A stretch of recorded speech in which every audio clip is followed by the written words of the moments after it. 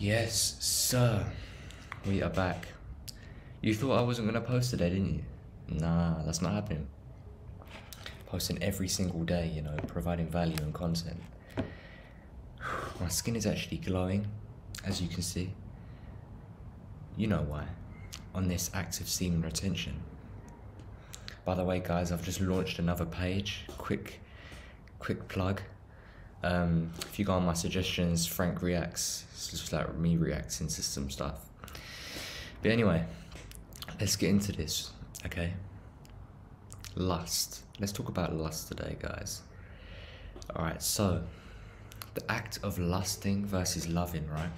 So what is lust? Let's let's talk about let's get into its origins, right? Lust. So why do we lust? We often lust through it all starts through a feeling of anger because we can't get something that we want. You know whether that's you can lust it's not just after women it's after materialism as well. You can lust lust after materialism. You can lust after females but most commonly it's it's females. And this book that i read um it talks more about this. It talks more about the act of love versus sex okay? So let's jump straight into it. The clear comparison between the two is that love enhances and empowers the spirit between two. This is why love is so essential in relationships. We cannot go without love. It's simply it's simply that.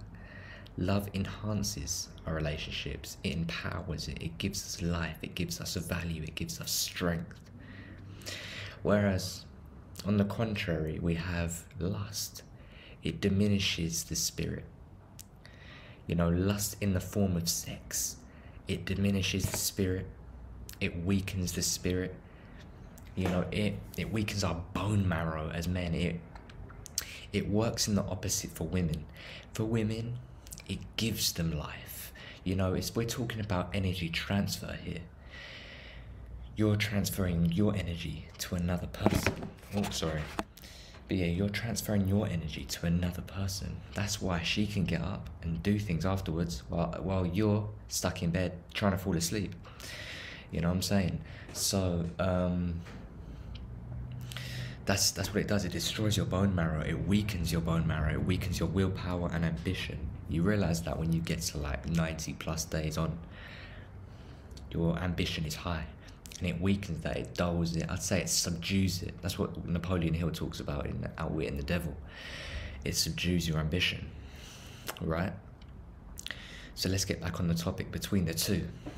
So, how can we control lust? Because it is a is it's it's a um, it's a potent feeling that's that's always there. It's never gonna go. But how can we control it? We can control it by being aware of it you know, God gave us feelings. He gave us feelings. He gave us anger, which is is the root of lust. And you know, he he gave us feelings, but he gave us feelings to be aware of them. He gave us feelings for a purpose, not to become misguided by them. Do you know what I'm saying? So how we can be aware of them by tapping into ourselves through meditation, tapping into ourselves just you know, bring being alone with your thoughts, being alone with yourself in nature, wherever wherever that may be. Um, just coming coming with yourself, coming like just meeting yourself. Do you know what I'm saying? And um, so that's what that's what it really is. It's it's giving it's giving awareness to these feelings is is what is what we should do to combat lust um, it's you know as we go on to lust we we see that it's it's a it's a killer of, of a lot of men today. You know there's a lot of relationships and a lot of families put at, put, put at the stake at the uh, at the result of lust. You know um, it's a damaging it's a damaging force. You know it's it's an it's I don't know to, to, to bring this into my channel, but it's an evil force. You know, it's a it's a malit. You know, it's it's not it's not a great force. So um, And we see that time and time again. We see time and time again families breaking up due to lust, due to to, to their uncontrolled, you know, sex appetites. And um, that's why semen retention keeps that in track, keeps that in check. Semen retention, because you're more self, you got more self control. So you're not even after a certain period of time, you're not even tempted by lust. You're not even tempted by these external feelings. You know what I'm trying to say? So, that's all I've got for today, though. Love versus sex. Sex and lust diminish. Love enforces, it raises. You know, love in abundance gives. It gives us, you know, it gives us the all the power in the world that we need. Um, but but sex in abundance causes us depletion, mental depletion and physical depletion, whether that be you know with your your lower um, chakras, uh, your sacral chakras, and your whole chakras become chakras become unbalanced. Whereas when you're on semen retention, you're more grounded. You, know. But anyway, that's all I've really got for today.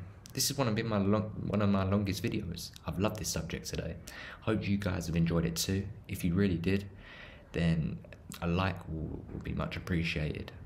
And I hope everyone's staying healthy. And we're on this road to get wealthy. Let's get it, man. I'm out.